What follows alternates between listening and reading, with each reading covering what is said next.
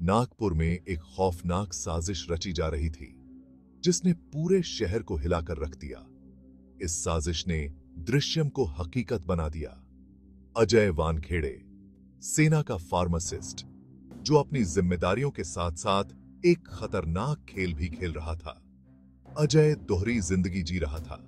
एक तरफ़ वह एक जिम्मेदार फार्मासिस्ट था और दूसरी तरफ़ एक खतरनाक अपराधी।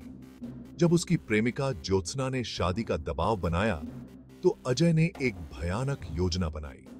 उसने मौत की योजना बनाई, ताकि वह अपनी दोहरी ज़िंदगी को जारी रख सके।